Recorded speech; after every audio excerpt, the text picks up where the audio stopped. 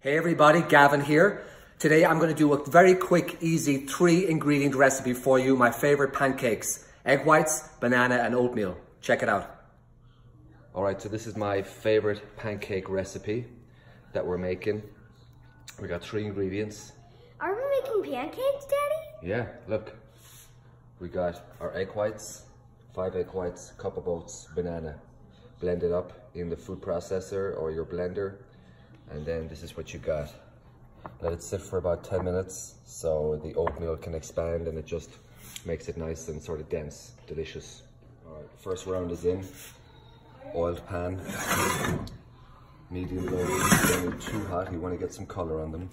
But here's the question, how do you know when they're ready to flip? Watch, see all these bubbles kind of popping up in here? That's like the air pockets.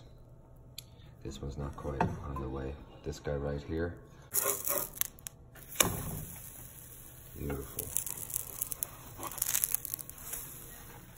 What do you want on your pancakes?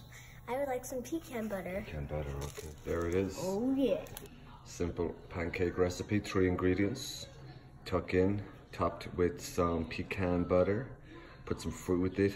Have it with some eggs, whatever you want to do. Enjoy.